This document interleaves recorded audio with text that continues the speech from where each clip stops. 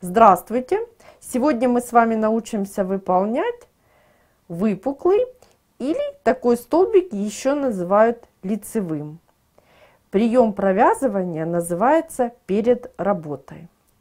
Давайте выполним. На, накидываем крюч, на крючок один накид и выполним столбик с одним накидом выпуклый.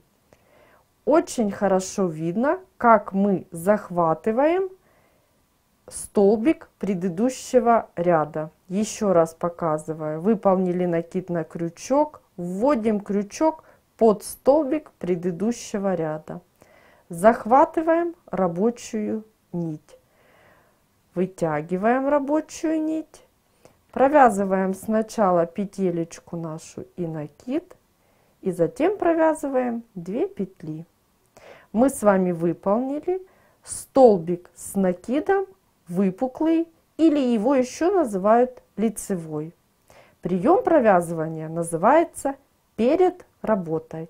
Давайте повторим. Выполняем накид на крючок, вводим крючок предыдущий ряд, очень хорошо видно в основное полотно предыдущего ряда, захватываем рабочую нить, вытягиваем и провязываем. Выпуклый столбик с накидом готов. Выполняем накид, вводим крючок под столбик предыдущего ряда. Хорошо видно, как мы работаем с вами перед работой. Провязываем петелечку и накид. И затем провязываем 2 петельки. Давайте посмотрим. Мы с вами выполнили еще раз повторяю, выпуклые столбики или их называют лицевыми. Прием провязывания называется перед работой. Так вы можете выполнить абсолютно любой столбик.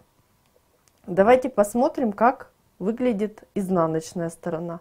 Очень хорошо видно с изнаночной или обратной стороны у нас с вами образуется вот такой рубчик.